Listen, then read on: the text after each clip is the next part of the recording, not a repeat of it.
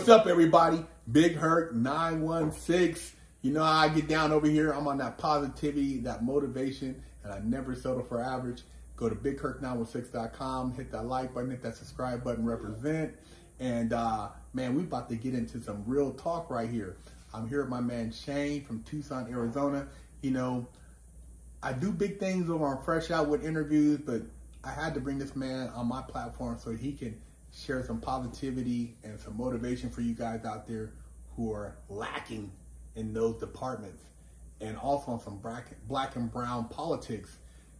Dude, there's so much we were talking about off camera. We were laughing, man, me, you, and your brother talking about some stuff, man. Um, share with the people a little bit about your mindset, man, and how you were able to kind of transform yourself into this this this positive life force and change your your mentality, man, because a lot of people get stuck in this mentality and they don't realize that, you know, prison is one thing physically, but your mind is also in prison. Right. Yeah. Um, so like pretty much all that adversity, that darkness kind of beat it out of me. Like, but we just felt so much oppression and so much, um, you know, the bad things you, you, the things that we would call bad in life and just obstacle after obstacle is that there's kind of no other option. Like, how many times can you hit a wall? Like, how many Yeah. times? How dark?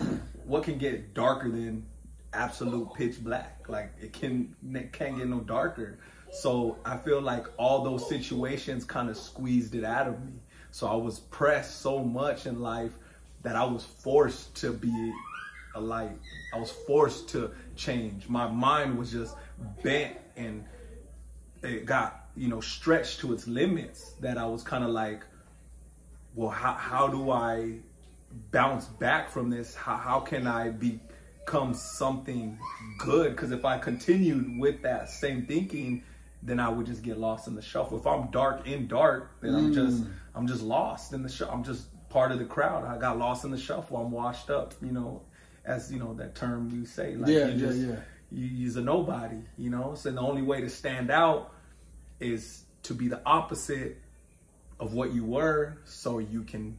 Okay, there's a, there's something great that I remember hearing, and I think it was in a book, and uh, it was about psychology, and they were saying that they used the slaves, for example, and they said once you've been a slave and you get free, you can never go back to a normal way of life. You just can't. Like psychologically, it would eat you up. You couldn't just kick your feet up and relax and be like, "Oh, I made it."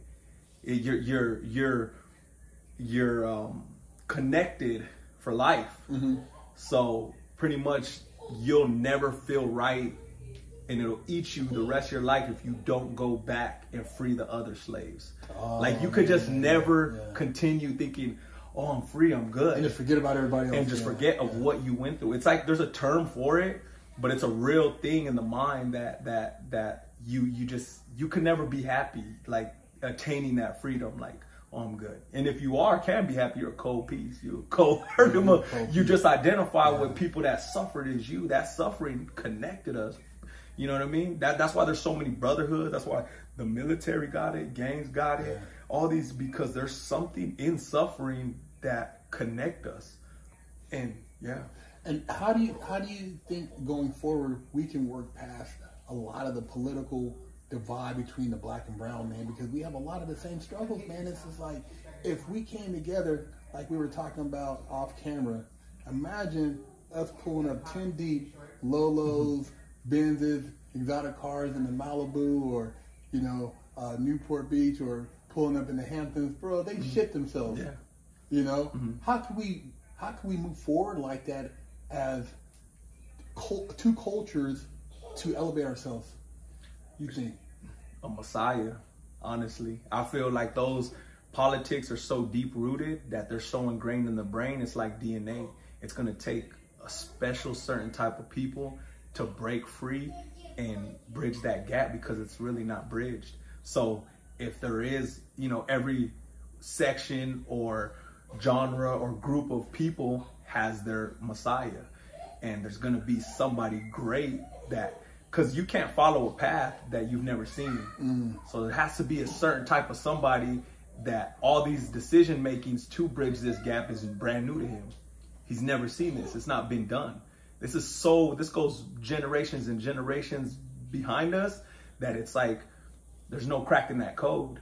You see what I'm saying? Yeah. So it's gonna take like someone like you, someone like me, some somebody to actually put it in the physical and see it to start questioning like, oh, there is progress in this. Yeah. There is benefits Yeah. to this. Yeah, yeah. You see what I'm saying? So that's kind of like the next step, if you will. You know what I mean? Because those those those politics run deep, bro. No, I, Yeah. you know, it, it makes it, it makes sense what you're saying because you know whenever I see like you know I look at a lot of hip hop stuff and then hip hop.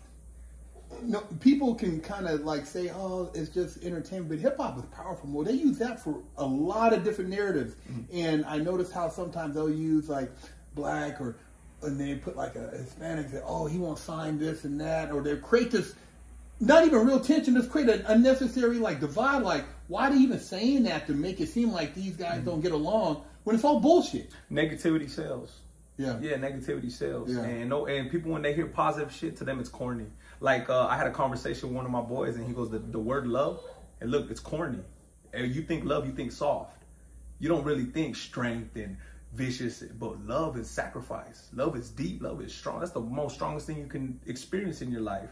But it's just because it's been misrepresented. Negativity sells. We just like you know, like I told you earlier a lot of my homies are prone to violence. So that's the only thing we gravitate to. It's like a high for them. Like, you know, some people like getting money, driving nice cars. Some of my homies, they don't even care about none of that shit. They just want to, you know, catch a hot one. Like, they mm. just, they love that. It does something for them. So to hear somebody speak like that is just foreign. They're not used to seeing it. We're not used to hearing it. But it has to be represented in a way that they can identify with, that they can be like, oh, that shit's real. Like I, I, I identify with that love. Like like seeing positive stuff coming from somebody like us might catch attention and might catch a movement and you might start saluting it and saying, you know what? There is another side to life that we're neglecting. Yeah, yeah, Yeah. yeah. that that that road hasn't even been traveled yet. Yeah. You know, it's just like we were talking, um, and I was telling you about like in the pen how I used to see cats and like Big Herc, man, you cool, but my homies, I can't really message you in here, but you know, give me your number, man, I'll hit you up when I get out. And you know, some of the conversations were deep. I had some conversations with my old boy. He tell me stuff. and I'm like, man, you know, we're not we're not that much different, man. It's just mm-hmm. different, you know, different different parts of different cities and backgrounds. Mm-hmm. But we have a lot of the same things in common. We still deal with a lot of the same struggles. And how you explain something, just talking with you, it makes me think about some things I was going through. And I'm like, damn, you know, it helps maybe me make more sense of my life, which can help me grow. Mm-hmm. So we're growing together. Right. And the more we do that, the more we realize there's really not a divide, and we can, dude, we can, we can put together who knows what. You know, you're over here doing your thing, I'm doing my thing. I'm like, dude, you know what? My boy got a a, a, a gallery over here. Why don't you come over there for a week and do a pop up, or let's mm-hmm. do this over here? I mean, there's so many cross networking and, and, and, and different things we can do, and we can all eat off of that. But we have to be able to, to at least have the conversation to start this movement. And I think this is like the beginning, man. That's why I was like, when you hit me up and give an opportunity, I'm like, man, it'd be cool to have some dialogue and just and just talk about different things because everything starts with a conversation. You know, how many times you've been in the pen, you see things, man, the conversation get misconstrued and somebody gets stabbed Right, over yeah. something stupid. Mm-hmm. You know, so having a conversation and you start thinking, well, damn, man, you know, I'm into this, you're into that. Oh, I got a plug on wheels. Oh, man, my boy got a he got a car shop. Now, now we doing business. You you know, we we we networking, man, and I think like our network, once we open it up and realize that it's bigger than just our immediate surroundings, more opportunities to come about. You know, and that's that's that's what this is all about. And um, you know, when I talk about, like I said, the positive and, and, and the motivation, you know, I'm, I'm trying to inspire kids to think and young men to be men. You know, I grew up like it was all right to cap on somebody or to catch a fade and shake hands afterwards. It's like I'm not saying you have to beat people up to be a man, but these young men they need men to help them become men because it's been all it's, it's getting so misconstrued. Like a lot of these youngsters don't know how to be men anymore. Yeah. You know? Yeah, they lost their way. They lost their identity. They never. They don't know. They don't. They ne- and they have nobody to show. They have. They don't have anybody that that that'll grab their attention and be like, oh, I, you know, that's that's it's like a a version of me or an older version of me. And the way you articulate yourself, bro, and the conversation, it it throws people off because they wouldn't expect it. Yeah. You know, just like me, they're just like, oh, you talk so proper. Where are you from? You know, I had somebody when I was in the gym one time, and lady said, oh, are you from? She named some village in Africa. I said, what the hell? she was on, she was like, are you from like the so and so village in, in yes, Cameroon? am. She said Cameroon. I said. Cameroon. Well, let me see. I don't speak French, but I can speak. Dude, it's crazy, man. How people they be like, they have no idea. Yeah, yeah. And then I get other people. Oh man, are you you military? You ex? You know, you a cop? This and that. I said, no, I'm farther thing from Mm. Yeah, that. So it's crazy, man. So I, I think it's, it's almost funny. And that's why I said, man, I could only imagine us pulling up somewhere and going to Roof Chris and everybody like, man, what the Yeah. hell? These dudes, man, you know, because it's like it blows people's mind. But that's what I want to do. I want to blow people's mind, Oh, man. yeah, for sure. I, I, I want, you know, people like ourselves, and not to try to put anything on, but to elevate ourselves and to let the world be our playground. You mm-hmm. know, we, we, we, we have been trapped not only in a physical prison in a sense where they put us up in there to throw away the key on some bullshit, but mentally and you know, hearing you with your stories, you broke that, bro. You broke the code. Mm-hmm.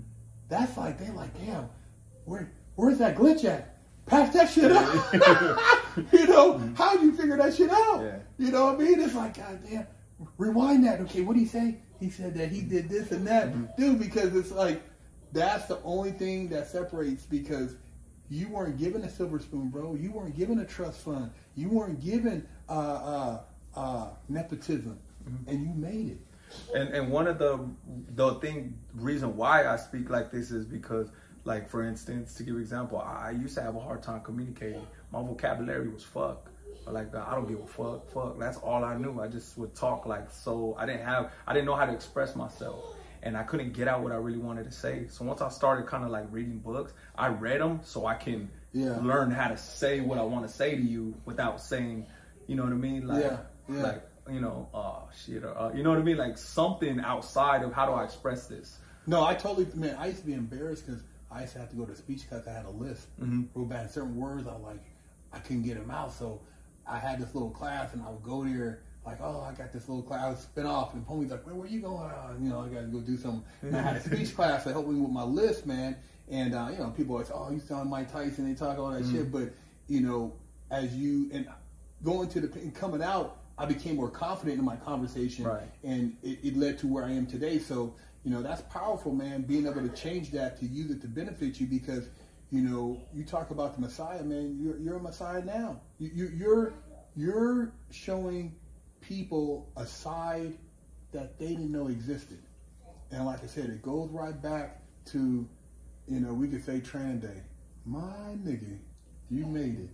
you know what I mean? Mm-hmm. It's like a gauntlet. Yeah. They set this shit up at the gauntlet, bro. Mm-hmm. There's they got the the flaming arrows. They got the poison darts shooting out the wall. They got fl- the the the floor opens up and there's fucking fire pit. I, I- it's crazy you say that because I used to explain it like that too. It's exactly like just like that. Like man, this is a hell of a journey, man. This is crazy. It is It's like it's like yeah. a movie. It's like a movie. Yeah, like and then you make it, and then it. da- da- ah, Yeah. The gold Yeah. and shit. You get the gold and Yeah, shit. that's why it feels so damn good. Like that's why people like us appreciate, you know, the rewards. Yeah, yeah, yeah. Because like, Yeah. like they were well earned. Like man, you bled for that. Like you cried and was on your knees and just times you was just like the the pain you experienced to finally get some type of breakthrough is like.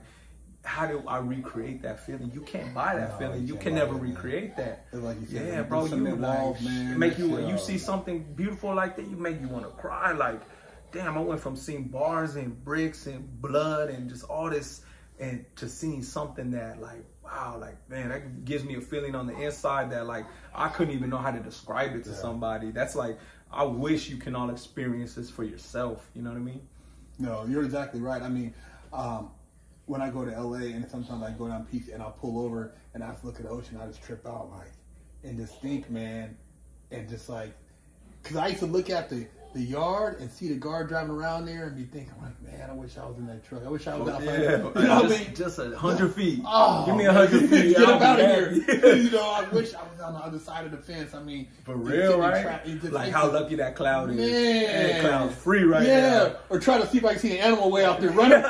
like, man, you're free, homie. Are you out there? What's it like? Yeah, oh, man. So yeah, it's, it's a blessing, man, to be able to, you know, have these conversations with somebody who's shared the experience and you, see the, the bigger picture, man. And um, you know, I definitely want to have you back on sharing motivation stuff because, uh, dude, you're, you're gonna you're gonna save a lot of lives and opening a lot of minds to new opportunities that they didn't know existed. And you know, one thing I want to also touch on is, you know, kids ask me sometimes like, Big Herc, how do you come up with hobbies? How do you, you know, how do you find things that you like? And um, maybe you can elaborate on that because a lot of kids they don't know they don't know what they like because they're not they're not like they're not doing anything outside of maybe sitting in front of the computer. Like how how would they like find what they're into Yeah, or something? like a passion, you know, like Yeah. like I was always in the cars, like you know, or working on tinkering on stuff, Yeah, or building yeah. models. But a lot of kids now they don't do that stuff anymore, man. You know, they're too much caught up in the video games or Pornhub. Yo. what is that? uh, but yeah, for sure. Like, um, I mean, my like me tattooing. Yeah, that yeah. I found that on the inside in prison, and uh, it kind of saved me. It really Yeah. did. It saved me because it gave me something to give my attention to that I can give it, and it would give back eventually. It didn't give back at the time, yeah, but uh, when I drew in prison, it freed me. Yeah, Like. I was in a It's state of mind. Yeah, I was in a state of mind that I was free from my suffering, and and and I was able to give all my energy and uh, dedicate some time, and it actually gave back to me because I saw growth. So I mean, it's it's like you just kind of have to find whatever it is because you can monetize off anything these Yeah, days. yeah. So you know whatever you're into, even fitness, you know fitness, um, you know if you know whatever you're into, Art, painting, drawing, whatever you're doing, yeah, cars, yeah. It's endless. You know, you just gotta have that passion and that, like, like, um, I, I always had a, a passion for people. Mm-hmm. I, I love people. I'm a people person, like crazy. I've always, like, even when I go out, I'm a people watcher, man. I just enjoy seeing people living, and, and um, I, I, I had these. I, I felt something like I connect with people that suffer, but I, I didn't know that there was that was a that could become a passion. You get what I'm saying? Like like even something like that like you don't realize like damn you can motivate people. You can you know you can somehow help people by just because of that quality. So it's kind of like you just anything you put your eh, your energy to it's going to give back That's even right, if it's right, bad. that's right. you know what i'm You're saying? right, you're right, but it's right. going to give back bad you know what i mean? It's going to give back negative consequences. And you, you just got to find something that you can give your all to it and you know it'll give back. Like it's not a waste of time. Like you could dedicate 10 years to this and you know like every single minute second i put into this like was worth it. It was worth it. So um you know it's just we can't give our energy to things that don't give us back anything. You know what i mean? Like even kind of like the dope game like you give your all to that and you have it but then in the end it like crumbles. Like it doesn't give back to you, you Yeah, that's something you can it just Yeah, takes. so it's like you just gotta find something that that that you know speaks to you you know it can be you know animals you know what if you like Yeah. you know breeding dogs or you just have a passion for animals or a passion for people or a passion to build or like it's it, the possibilities are endless i think it's just up to the leaders to kind of bring that out of them and kind of say you know okay th- this is where i see you know you you got a strong area in this and somehow kind of uh you know like uh bring that out of him that he don't see That's right. like he might not see that he's a leader Yeah. and it's like it's our job to be like you know kind of hone in on those Recognize strengths yeah potential. and then bring that out and put him in situations where he's able to recognize that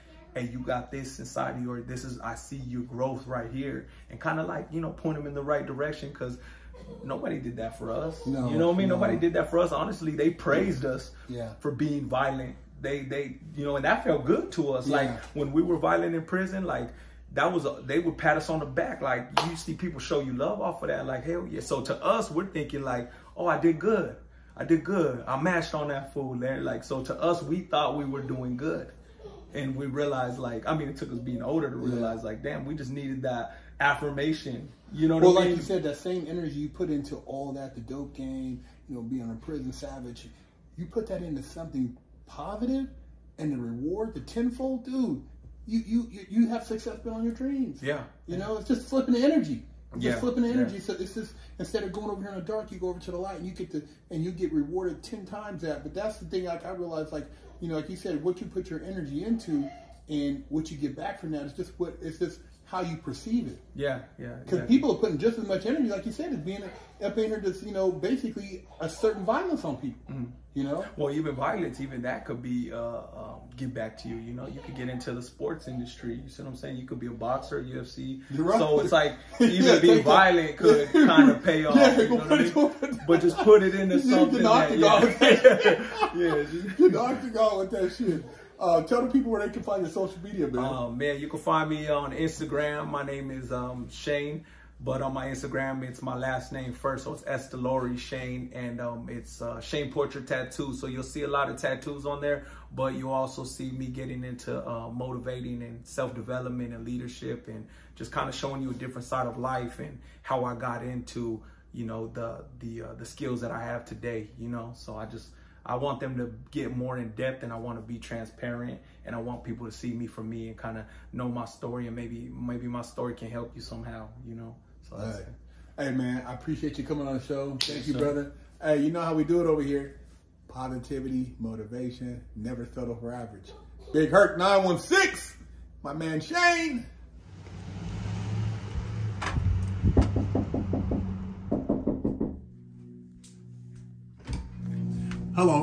Name is Big Herc 916, and I'm with the Wash Your Ass Committee, and I'm traveling across America helping people wash their ass and get their booty holes clean. And I have with me here today Wash Your Ass Soap, and this one in particular is Butt Naked Scrub, but I also have Festival, Oatmeal Milk and Honey, Jamaican Me Crazy, um, monkey farts, and all these scents smell very good. They will help cleanse your body of funk and also make you feel better about yourself. So if you can go to bigherc916.com, you can pick you up a bar. And my goal is to help America combat funk. Go to the Herc store at bigherc916.com and pick you up a bar of soap so you can wash that ass or pick you up some never settle for average merch or some of the muscle up car lifestyle merch. We have hats, never settle for average. Got the muscle up t-shirts. We also have the never settle for average tank tops. Got the muscle up car lifestyle hoodies. Got the beanie caps. Hey man, represent. And I know you guys aren't average, so pick you up some swag and step your game up. Hello, I'm Big Herc 916. Contact me for life coaching and motivational speaking.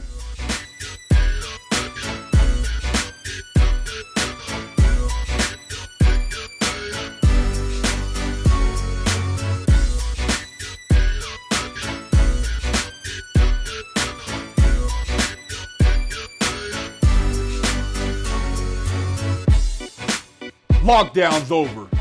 Get your yard time in. Exclusively at FreshOutSeries.com.